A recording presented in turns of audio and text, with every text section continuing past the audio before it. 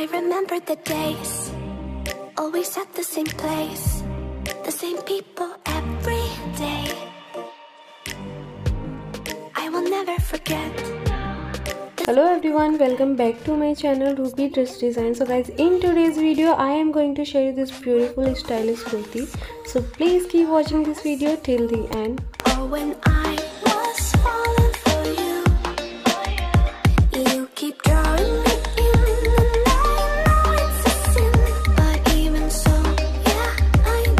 basically guys as you know very well मुझे party wear dresses की designing करना बहुत ज़्यादा पसंद है।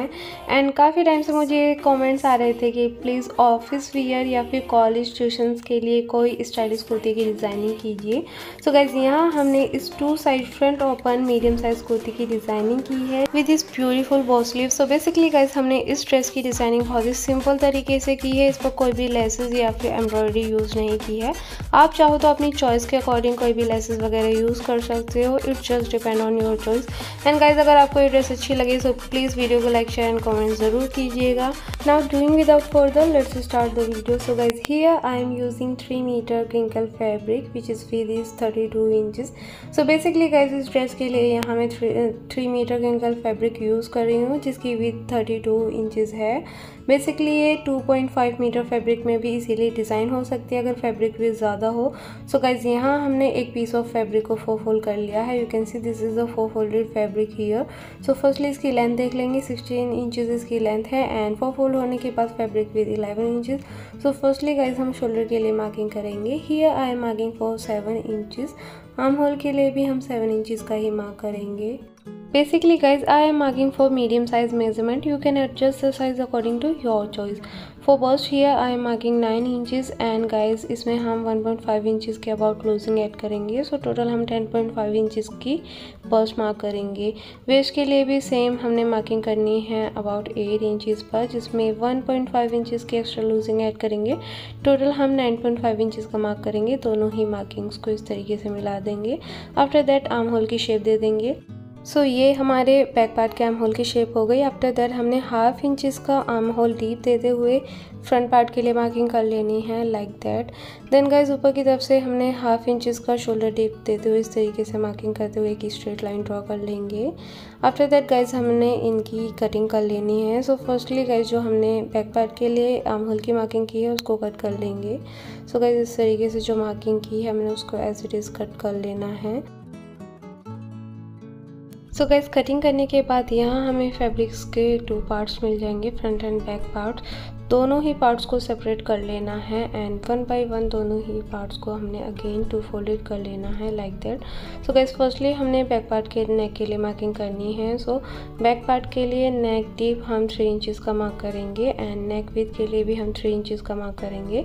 बेसिकली गैस हमने बैक पार्ट के नेक की डिज़ाइनिंग स्ट्रिप्स की हेल्प से कर लेनी है. सो so, यहाँ हमने थ्री इंचज़ का neck deep and three inches का नेक विथ मार्क करते हुए नेक की कटिंग कर ली है. आफ्टर दैट हमने फ्रंट पार्ट के लिए जो आर्म होल डीप मार्क किया था, उसको कट कर लेंगे। एंड कटिंग करने के बाद फ्रंट पार्ट को ओपन कर लेंगे इस तरीके से। देन गाइज़ हमने इसकी नेक की डिज़ाइनिंग कर लेनी है। सो गाइज़ यहाँ मैंने नेक ऑलरेडी फैब्रिक पर स्टिच करके रख लिया है। सो गाइज़ यहाँ जो नेक है, उसकी नेक भी six inches and neck deep total seven inches and neck round with इसकी फोर पॉइंट फाइव इंचज़ है। सो गाइज़ इस तरीके से हमने नेक को रखते हुए इस पर वन टाइम स्टिच कर देना है। देन गाइज़ हमने बैक पार्ट के नेक की डिज़ाइनिंग करनी है and for that here I am using a strip जिसकी विथ अबाउट टू इंचज़ है. सो गाइज़ इस स्ट्रिप को हमने इस तरीके से टू फोल्डेड करते हुए नेक पर रख लेना है एंड रखने के बाद इस पर वन टाइम स्टिच करेंगे. देन इसको अंदर की तरफ़ टर्न करते हुए इस पर एक और सेकेंड स्टिचिंग लगा देंगे. सो गाइज़ यहाँ हमने बैक पार्ट की नेक की डिज़ाइनिंग कंप्लीट कर ली है. आफ्टर दैट हम फ्रंट पार्ट को कंप्लीट करेंगे. सो गाइज़ फ्रंट पार्ट के लिए हमने जो आपको ऑलरेडी दिखाया था नेक को रखते हुए हमने इसको वन टाइम स्टिच कर लिया है। स्टिच करने के बाद अबाउट हाफ़ इंच का मार्जिन छोड़ते हुए हमने इस तरीके से नेक की कटिंग कर लेनी है। कटिंग करने के बाद गाइज़ अब हमने इसको नेक को अंदर की तरफ़ टर्न कर लेना है। सो इस तरीके से इसको टर्न करेंगे। नेक के कॉर्नर्स अच्छी तरीके से हम निकाल लेंगे किसी सीज़र या फिर आलपिन की हेल्प से। देन ऊपर की तरफ़ से एक और स्टिचिंग लगा देंगे।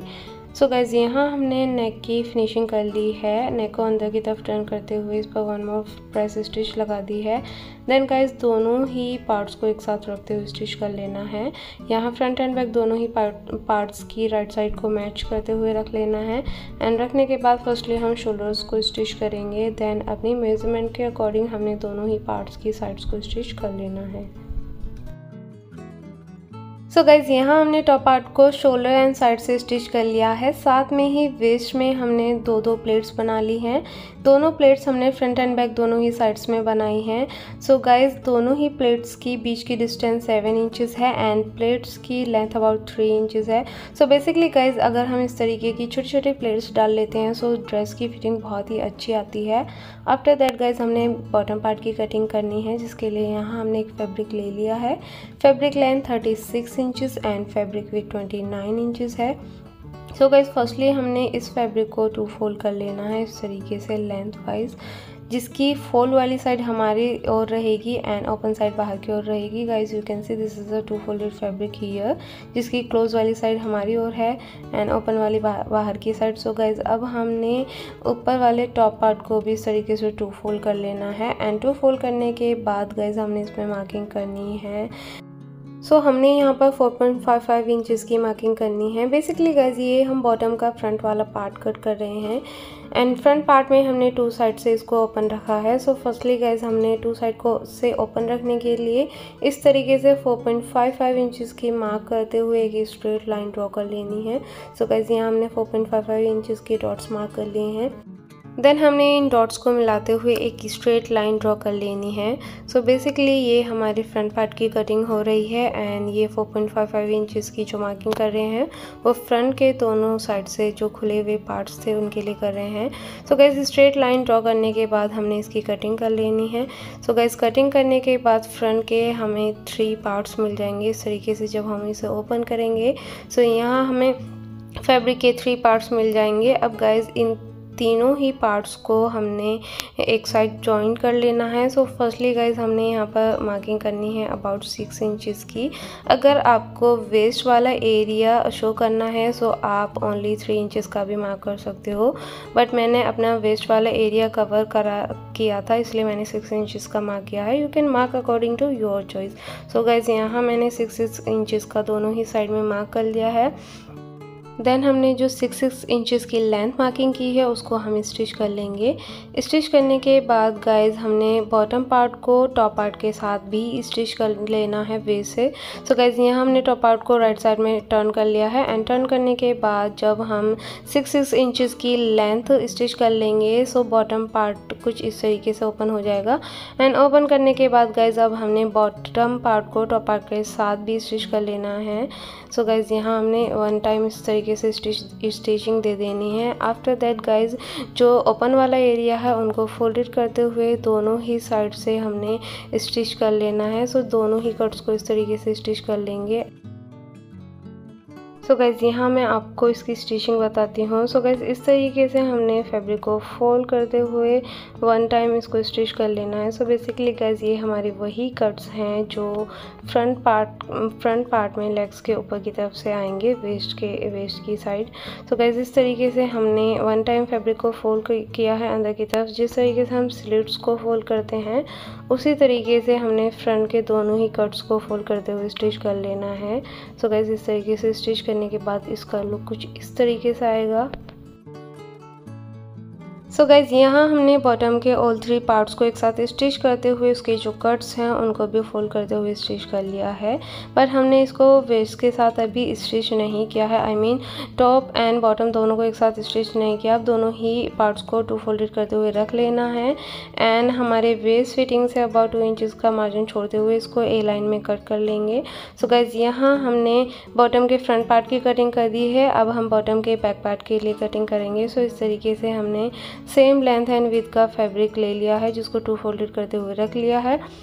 ऊपर की तरफ़ से हमने फ्रंट के बॉटम पार्ट को रख लिया है देन इसको भी ए लाइन शेप में कट कर लिया है। तो गैज़ यहाँ हमारे बॉटम के फ्रंट एंड बैक दोनों ही पार्ट्स कट हो गए हैं। बैक पार्ट हमारा सिंपल रहेगा इसमें कोई भी कट्स नहीं आएँगे। देन गाइज़ जो हमारा फ्रंट वाला पार्ट है वो उसमें कट्स ऑलरेडी आ रखे हैं। सो so, इस तरीके से अब हमने दोनों ही पार्ट्स को एक साथ रखते हुए वैसे स्टिच कर लेना है। देन हमने नीचे की तरफ़ से दोनों ही पार्ट्स की साइड्स को भी स्टिच कर लेना है। साथ में ही दोनों पार्ट्स के बॉटम को भी फोल्ड कर लेंगे। सो गाइज़ यहाँ हमने फ्रंट एंड बैक के बॉटम्स को वेस्ट के साथ स्टिच कर लिया है। एंड गाइज़ स्टिच करने के बाद हम इसको राइट साइड में टर्न करेंगे। सो गाइज़ राइट साइड में टर्न करने के बाद ये हमारी ड्रेस ऑलमोस्ट रेडी हो गई है। Now we will cut the sleeves so guys sleeves की कटिंग करने के लिए यहाँ हमने फैब्रिक को फो फोल्ड करते हुए ले लेना है। अबाउट हाफ़ मीटर का फैब्रिक इस, इन स्लीव्स में लगेगा। So guys here you can see this is a fo folded fabric here so guys length के लिए हमने टेन इंचज़ पर मार्क किया है। सॉरी लेंथ के लिए हमने टेन इंचज़ लेंथ ली है। एंड आर्म होल के लिए हम नाइन इंचेस पर मार्क करेंगे देन आम होल लिप के लिए हमने थ्री इंचेस पर मार्क कर लेना है। तो so, इस तरीके से अब हमने आर्म होल की शेप ड्रॉ कर लेनी है लाइक दैट छोटे छोटे डॉट्स बनाते हुए आम होल की शेप ड्रॉ कर लेंगे। आफ्टर दैट हमने स्लीव राउंड के लिए मार्किंग कर लेना है। सो so, इस तरीके से हमने यहाँ पर सिक्स इंचज़ पर मार्क किया है। You can mark according to your choice so guys यहाँ हमारी स्लीव की मार्किंग की हो गई है। अब इसकी कटिंग कर लेंगे। सो so, बेसिकली कटिंग करने के बाद यहाँ हमें स्लीव्स के टू पार्ट्स मिल जाएँगे। वन स्लीव को हम एक साइड कर लेंगे। यहाँ पर ओनली वन स्लीव की ही डिज़ाइनिंग दिखाएँगे। सो गई स्लीव की डिज़ाइनिंग करने के लिए यहाँ पर हमने एक फैब्रिक का पीस ले लिया है, जिसकी length about five inches and with यहाँ पर थ्री इंचज़ है। अब हमने इस फैब्रिक को टू फोल्डेड करते हुए इस तरीके से रख लेना है। देन रखने के बाद अबाउट हाफ़ इंचज़ के मार्जिन से इस स्ट्रिप को साइड से स्टिच कर लेना है। सो गैस यहाँ हमने स्ट्रिप को साइड से स्टिच कर लिया है। स्टिच करने के बाद इस स्ट्रिप को हम राइट साइड में टर्न करेंगे टर्न करें सो so, यहाँ हम सेफ्टी पिन का यूज़ करते हुए स्ट्रिप को राइट साइड में टर्न कर लेंगे। टर्न करने के बाद गाइज़ हम इसको अच्छे से आयरन कर देंगे जिससे कि ये इसकी फिनिशिंग अच्छे से आ जाए।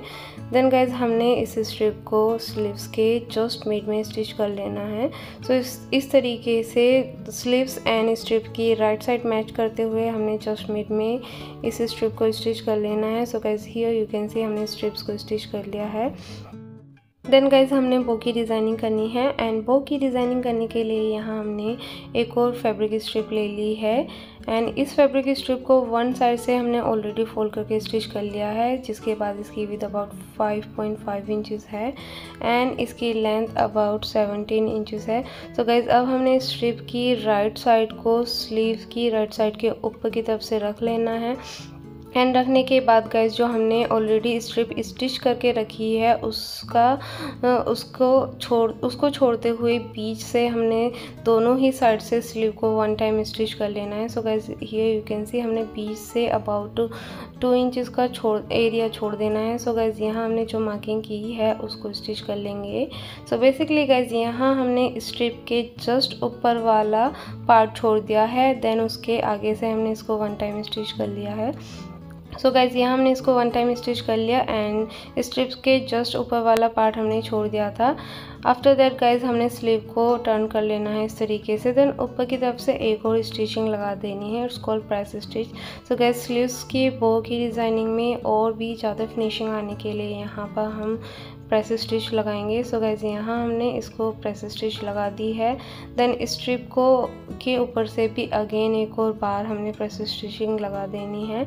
सो गैस यहाँ हमने जो स्ट्रिप के नीचे वाला पार्ट छोड़ा था यू कैन सी उसमें हम फिंगर इंसर्ट करके दिखाते हैं। सो so, इस तरीके से अब हमने स्ट्रिप में नीचे की तरफ़ से मीट पर मार्क कर लेना है देन उसके बाद छोटे छोटे प्लेट्स बनाते हुए हमने बो की शेप दे देनी है एंड स्टिचिंग कर लेना है। सो so गाइज़ इस तरीके से नीचे वाले फैब्रिक में जो हमने अलग से स्ट्रिप ऐड की है, उसमें छोटे छोटे प्लेट्स डालते हुए इसको इस तरीके से स्टिच कर लेंगे। देन अगेन हमने सिलाई को रिवर्स कर देना है इस तरीके से, जिससे कि फिनिशिंग अच्छे से आ जाए। सो बेसिकली गाइस स्लीव्स में नीचे की तरफ़ जो हमने बो की डिज़ाइनिंग के लिए फैब्रिक अटैच किया था, उसमें हमने प्लेट्स डाल दिए हैं। एंड प्लेट्स डालने के बाद ऊपर की तरफ़ से हमने स्ट्रिप्स को इस तरीके से लेके आना है।